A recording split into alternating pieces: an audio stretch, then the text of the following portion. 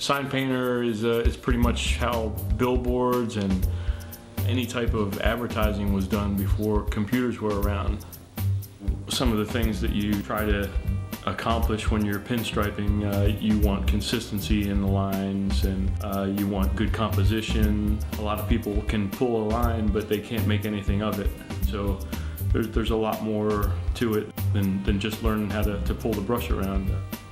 Sometimes you have people that, that come to you that uh, unfortunately pretty much have everything mapped out and they're like, this is what I want. I want this. And you have no freedom. But most of the time, if you're uh, around and, and, established and they come to you for a reason, they, they come to you because they like your work that they've already seen. It's nice that there's enough desire for a real painted sign that people want that and, and they'll come to me.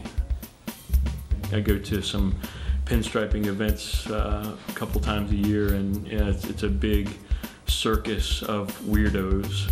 Uh, one of my favorite things about sign painting, uh, it's, it's always, every job is something new, something different, refreshing. It's never monotonous. It's, every day at work is, is nice. If something happened that I couldn't do this any longer and I had to go get a regular job, it, it would absolutely it would crush me, I think. So I'm, I'm thankful to be able to do uh, what I want and, and, and hopefully make people happy by doing it.